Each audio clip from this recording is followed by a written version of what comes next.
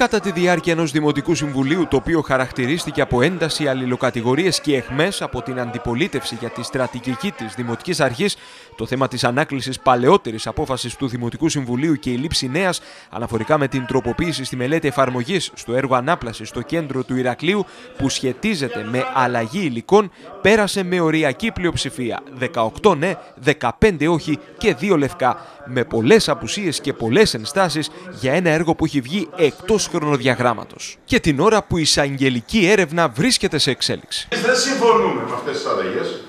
Θεωρούμε ότι άλλο έργο δημοκρατήθηκε, άλλα υλικά έπρεπε να είναι και αλλιώς εξελίσσεται το έργο. Και λυπούμαστε πάρα πάρα πολύ γι' αυτό και λυπούμαστε και για το μελετητή, για τον τρόπο που λειτουργεί. Είμαι σίγουρος ότι το επιβάλλεται και λυπούμαστε και πάρα πολύ που δεν μας έχετε δώσει συνοδά έγγραφα για να δούμε. Ό,τι προτείνει η υπηρεσία και από τη στιγμή που συμφωνεί ο μελετητής είναι απολύτως νόμιμο και δεν οδηγεί σε καμία περίπτωση σε όφελος του εργολάβου, αλλά σε όφελος του έργου και της λειτουργικότητας αυτού.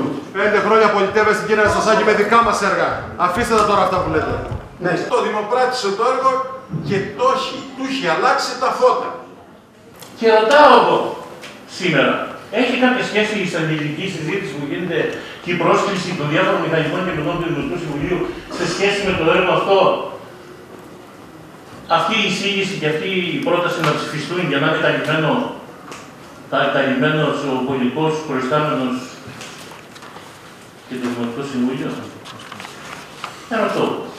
Φωτιές άναψε και η υπόθεση με την καθυστέρηση που παρατηρείται στο Καπετανάκιο Σχολείο. Εκπρόσωποι γονέων βρέθηκαν στο Δημοτικό Συμβούλιο χωρίς ωστόσο να πάρουν τις απαντήσεις που ήθελαν από τη Δημοτική Αρχή. Στη συζήτηση αναφέρθηκαν τα γενικότερα προβλήματα σχολικής στέγης στο Ηράκλειο. Το Καπετανάκιο να το πάρουμε, θα το πάρουμε όταν είναι ασφαλές, ολοκληρωμένο και όταν είναι ένα κτίριο το οποίο θα καλύπτει τη λειτουργία του σχολείου. Η Δημοτική Αρχή, όσο και αν δεν αρέσει σε κάποιους, ολοκλήρωσε μελέτες που είχαν δρομολογηθεί από προηγούμενα χρόνια, ενέταξε το συγκεκριμένο έργο προπολογισμού 3,5 εκατομμύρια ευρώ στο ΕΣΠΑ και ήταν το πρώτο έργο που δημοπρατήθηκε σε όλη την Κρήτη με το νέο ΕΣΠΑ. Ολοκληρώθηκε η πρώτη φάση που την ευθύνη υλοποίησης στην είχε, της αρχής ενίσχυσης ενώ που την είχε με μαχαιρική αυτολόγηση. Αν θυμάμαι καλά, μερικούς μήνες, έξι μήνες πριν την ολοκλήρωση της προηγούμενης δημοτικής περίοδου.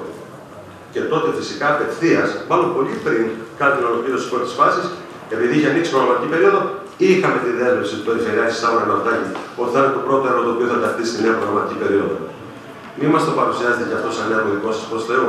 Τις ημέρες που τα παιδιά μας δεν πηγαίνουν εκδρομή, σε ποιο σχολείο θα πηγαίνουν, κύριοι; Σας μιλάμε για το καπετανάκιο, το οποίο θα έπρεπε σύμφωνα με δικά σας λόγια να ήταν έτοιμο εδώ και μήνες. Ζητήσαμε για το σύνολο των σχολείων να μα δοθεί μια κατάσταση. Ποια από αυτά εξασφαλίζουν τις στοιχειώδεις νομοθετικές ρυθμίσεις ως προς την καταγγελότητα της λειτουργίας τους και τα μέτρα ασφαλείας. Λίγο καιρό πριν τις εκλογές, 2019, αυτή η κατάσταση δεν έχει φτάσει ποτέ στα χέρια μας. Ένταση προκλήθηκε όταν η ανεξάρτητη Δημοτική Σύμβουλος Αθηνάς Πανάκη έθεσε ζήτημα για το καθεστώς στο οποίο υπάγονται σήμερα εργαζόμενοι που ανήκουν στο Δήμο Ηρακλείου και βρίσκονται στην τέταρτη τόμη. Μην ανησυχείτε για τους υπαλλήλου, μην ανησυχείτε. Ανησυχείτε εσείς, κύριε Βαρβαβά, έτσι. Ανησυχείτε εσείς που τα έχετε τακτοποιήσει όλα. Ανησυχείτε εσείς ποιος υπογράφει, κύριε Βαρβαβά, για τη μισθοδοσία τους; Στα υπόλοιπα διοικητικά ζητήματα που έθεσε η συνάδελφος θα απαντηθούν υπηρεσιακά.